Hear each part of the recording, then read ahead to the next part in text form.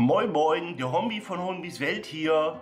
Wie ihr seht, befinde ich mich mitten im Dschungel, bin in Not. Ich habe doch richtig eine an der Waffel, oder? Ist egal. Greenscreen, ne, und so, ja, äh... Ich mache heute einen Selbstversuch und habe mir ein EPA-Paket gekauft. Und damit will ich heute den Tag verbringen. Also mit nichts anderem. Ich bin zwar in meiner Wohnung, weil draußen ist nass und bäh.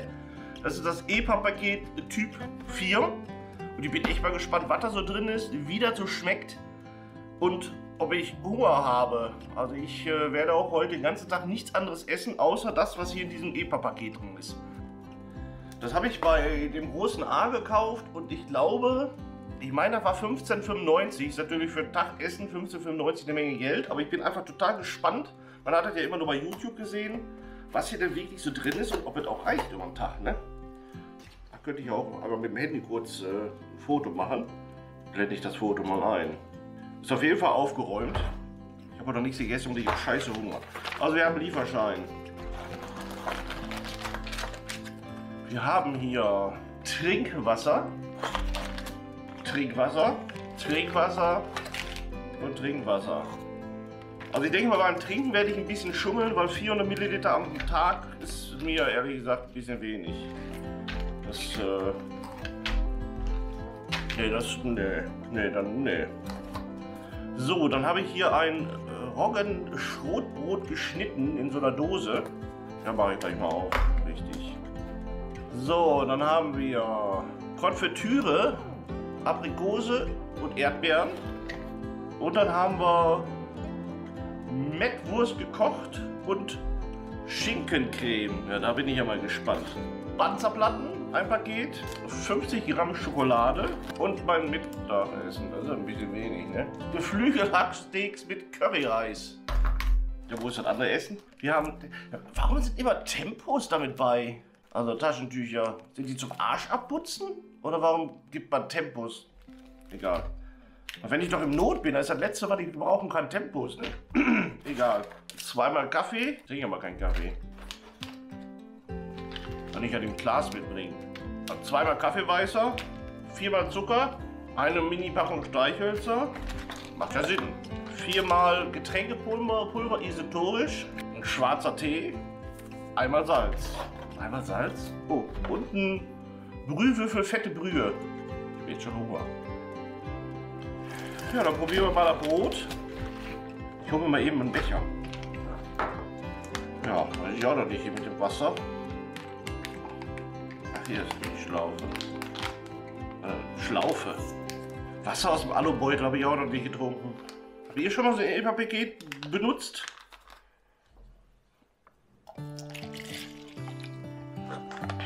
Ja, wirklich nur ein Schlückchen, ne? Machen wir so Getränkepulver rein. Ich gebe mal das zweite Wasserpaket da rein. Ich hab Durst.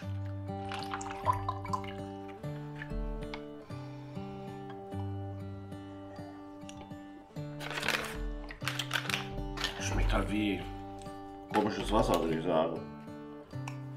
Warum mache ich das eigentlich? Ach, weil der Bäcker bestimmt zu hat.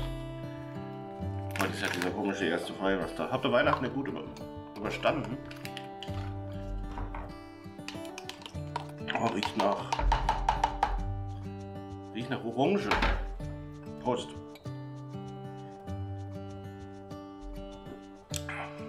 Boah. Alter. Boah, schmeckt das scheiße. Boah, da kann ich gar nicht. Das riecht total erfrischend nach Orange, schmeckt aber wie, ah, ich würde sagen wie Kuhpisse, aber ich weiß nicht, wie Kuhpisse schmeckt. Ja, dann essen wir mal hier so ein lecker, oh, ich weiß gar nicht, was ich im Hals habe.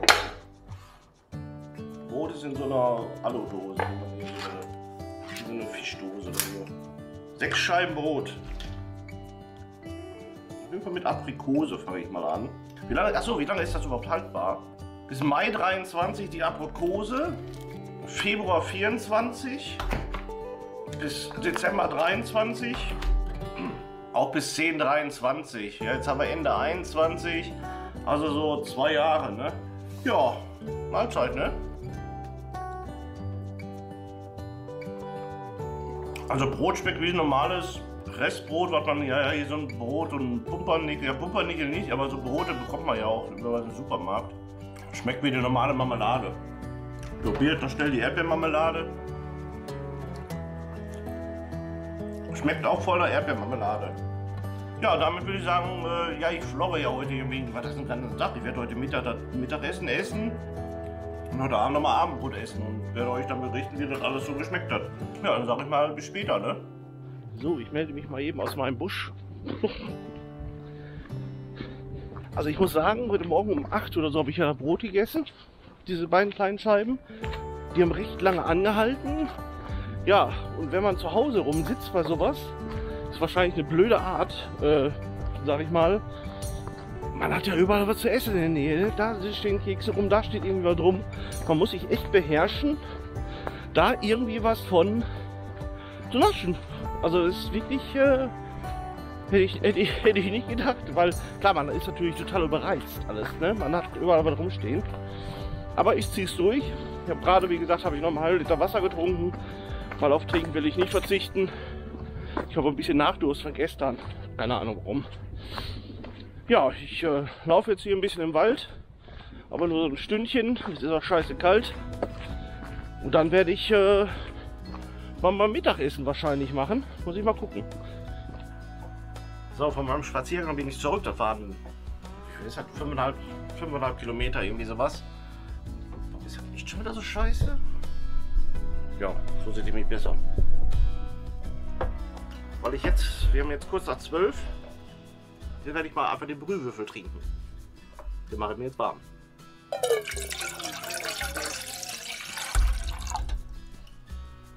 Natürlich frisches Quellwasser.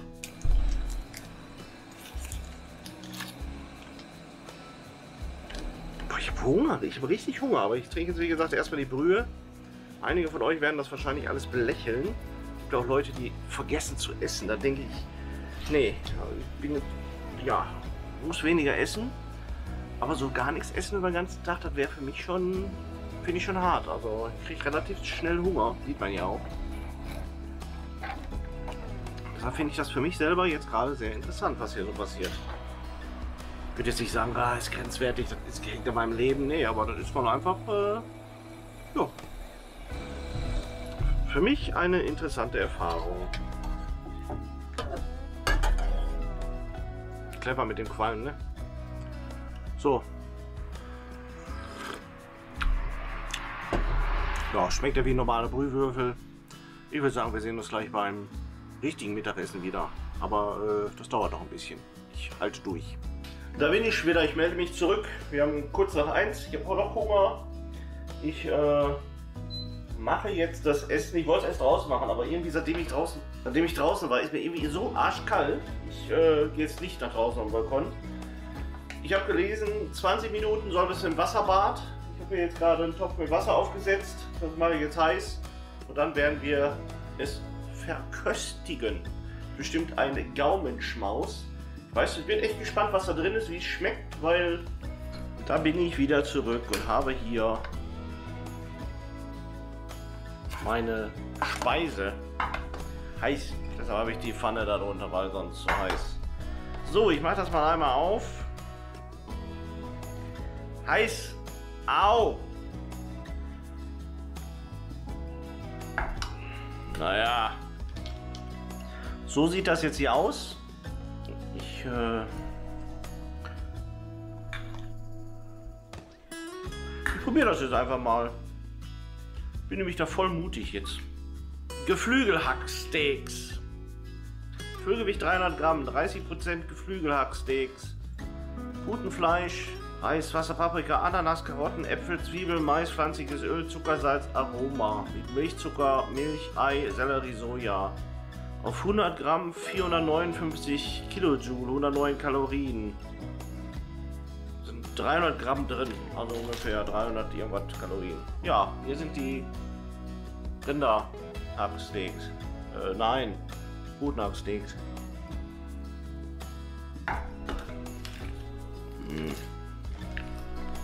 Und Flügelhacksticks. Also. Lecker. Ist anders. Naja.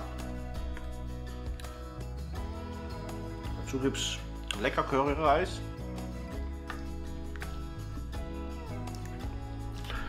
Ja, ich kann mir vorstellen, wenn man ja sowieso in der Krise ist, sag ich mal, ist völlig in Ordnung.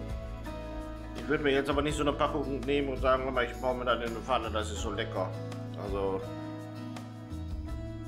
ist schon ein bisschen, ja, ich weiß nicht. Ich esse aber trotzdem auf, weil ich ziehe durch.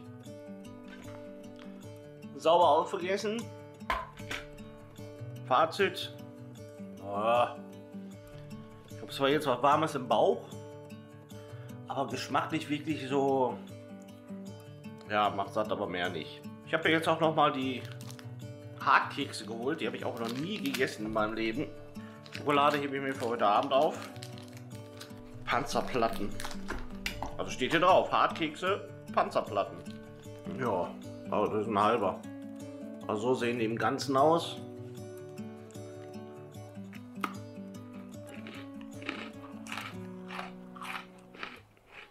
Deshalb heißen die Hartkekse, ne? Boah, sind die trocken. Ist okay. Jetzt habe ich mal irgendwie gehört, früher in meiner Jugend,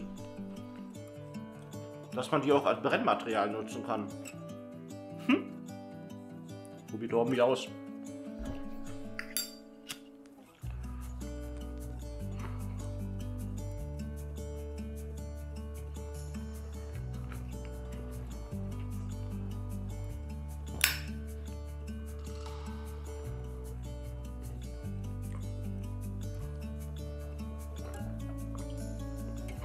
Wer braucht schon Kien sparen, wenn er Kekse hat, immer?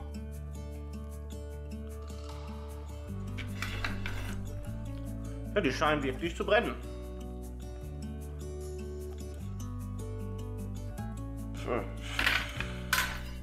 Ja. Boah, stimmt tun die auch. Irgendwie fühlt sich diese Kälte bei mir so ein bisschen an wie krank werden. Aber ich will jetzt nicht krank werden. Nee. Nee. Bis später. Da bin ich wieder zurück. Ich habe das Gefühl, das Essen hält nicht so lange satt. Entweder habe ich heute, ist das heute so ein langweiliger doofer Tag, wo man sowieso nur essen will. Äh, ist schon komisch. Ich werde jetzt den schwarzen Tee mir machen. Ist ja Kaffeezeit, ne? Schwarzer Tee ist. Also wenn du mich gefragt, trinkst du schwarzen Tee, sag ich mal, nee, mag ich nicht. Ich probiere den jetzt einfach nochmal, weil gefühlt habe ich vor, ach, vor 40 Jahren oder 45 Jahren habe ich mal bei glaube zuletzt bei Oma schwarzen Tee probiert. Ich bin auch kein Kaffeetrinker, wie das einige wissen. Deshalb trinke ich mal schwarzen Tee. Ich habe jetzt Zucker auch und ich habe auch diese, ich habe mal gehört, Kaffee trinkt man doch auch, schwarzen Tee trinken. Ah, ich bin da total bescheuert, ey. Schwarzen Tee trinken wir doch auch mit, mit Milch, ne? Ja, dazu wollte ich mir jetzt noch ein paar Kekse. Übrigens, ich hatte noch eine halbe Packung Kekse gegessen heute Mittag. Und ich muss sagen, die machen ganz schön satt. Also die machen, da hatte ich echt ein riesen Völlegefühl. Und ich habe hier natürlich, äh, und ich habe natürlich die Schoki. Essen wir mal. Vielleicht bauen wir uns dann, äh, ne? Wie heißen die nochmal, die dicken Keks mit der Schokolade da drin? Die, wisst ihr, die riesen dicke Schokoladeschicht, die, wie heißen die denn? Riecht wie Schokolade, sieht aus wie Schokolade. Ist Schokolade. 45% Kakao. Und ich muss sagen, die ist richtig lecker. Die ist super. Schwarze Tee, der riecht schon komisch.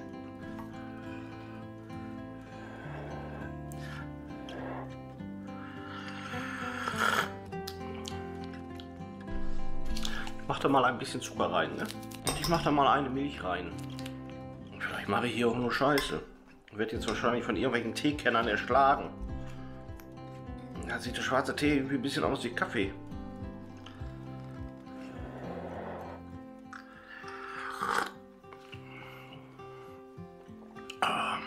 Macht die Sache nie besser, aber im Krieg, es ist Krieg. Na, zum Glück ist kein Krieg, ey. Da hätte ich, da hätte ich ja Bock drauf.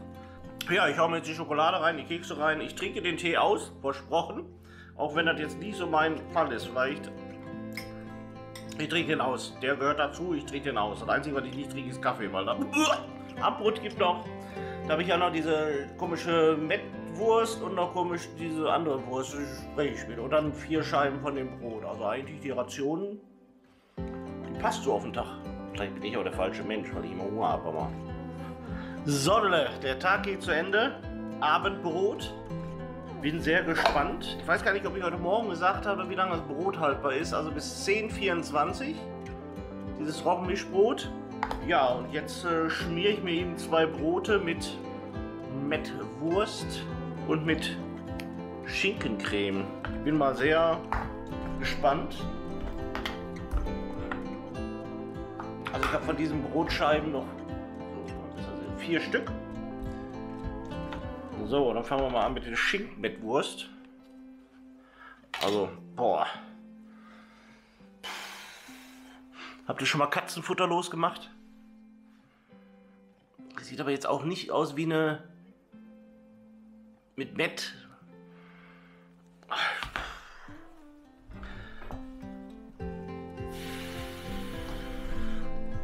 Egal. Ist ja schließlich Survival. Leben ist kein Wunschkonzert, ne? Wünscht mir Glück. Boah, ey, Alter.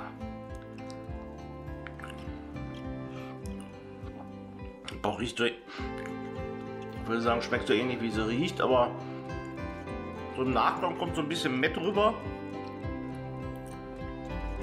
Ich esse das mal auf und dann schalte ich die Kamera wieder ein. Dann probiere ich die Schinkencreme und dann kommt mein Fazit. Ja, kommen wir zum letzten Teil.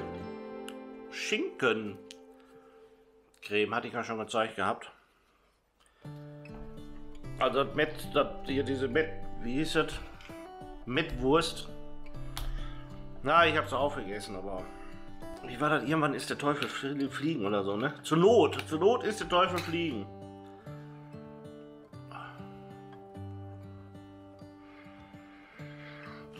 Also die riecht wesentlich angenehmer, diese Schinkencreme, als dieses Met. Lässt sich beides oder ließ, lässt sich beides äh, schmieren wie, wie Teewurst, ne? Ja, Prost.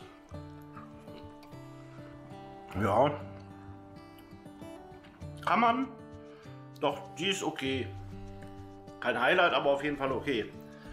Was cool ist, ist diese Dose, die Brotdose, die werde ich wohl behalten. Das ist eine Aludose mit so einem schönen Deckel. Kann man in den Rucksack vielleicht irgendwann reinpacken. Ob Elektrozeugs oder... So, mein Fazit, klar, 50, ich habe gerade nochmal nachgeguckt, 15 Euro, 4, nee, 15,95 Euro ist natürlich eine Menge Geld für einen Tag. Brot, völlig super, Marmelade, war halt normale Marmelade. Wurst, also ist jetzt nichts richtig ekeliges dabei gewesen, außer dieses ISO-Star-Zeugs, das war schon ganz schön ekelig. Für mich ein Vorteil, ich fand den schwarzen Tee recht lecker. Ich habe den ja dann irgendwann nochmal mit Milch und Zucker reingemacht. Fand ich ganz cool, den Geschmack. Also vielleicht hole ich mir doch mal ein bisschen äh, schwarzen Tee, mal eine Alternative zu Ingwer-Tee. Ja, Wurst kann ich verzichten. Was mir so ein bisschen fehlte, waren ja irgendwie Vitamine. Aber die waren vielleicht in diesem ISO-Zeugs, was da nicht Upala. Ich glaube, die Wurst kommt hoch. Was da, äh, was da drin war, Ansonsten, ja, mit den Tempos weiß ich immer noch nicht, warum Tempos dabei lagen. Äh, klar, Streichhölzer, klar zum Feuer machen. Ja, alles in allem, äh, ja, wenn man nichts anderes bei hat, sage ich mal, kann man damit sicher einen Tag überleben. Also ist auch reichlich da, ist auch mehr als reichlich da. Ich würde sagen, wenn man wirklich irgendwie Not ist, kann man damit auch zwei Tage überleben, wenn man sich da alles ein bisschen einteilt. Äh, ja, aber ich wollte das einfach mal ausprobieren. Ich danke fürs Zuschauen. Schreibt mal ruhig unten in die Kommentare, wie ihr das fandet ob ich irgendwas anderes noch ausprobieren sollte. Ich verlinke auch die Box, wo ich die gekauft habe, unten einmal. Ja, und ansonsten sehen wir uns wieder beim nächsten Video. Ich bin der Hombi von Hombis Welt. Und Hombi, Hombi, Hombi, Hombi. Vielleicht denke ich auch an Omelette. Also, ich freue mich auf jeden Fall morgen wieder auf richtig frische Nahrung und nicht auf so ein Dosenfraß. Ich äh, koche ja lieber wie so eine Kacke zu essen. Also, ciao. Ach so. Wasser habe ich ungefähr noch, äh, da waren ja vier von diesen 100 Milliliter Tüten. Da habe ich ja von Anfang an gesagt, dass ich mehr will. Äh, ich habe ja, ich so anderthalb Liter Wasser noch getrunken. Also reines Wasser, nicht irgendwie Cola Zero oder so. Einfach nur ganz normales Leitungswasser ohne Geschmack, damit ich, äh, ja, war quasi aus dem See. Ne? Ja, jetzt aber wirklich. Ciao.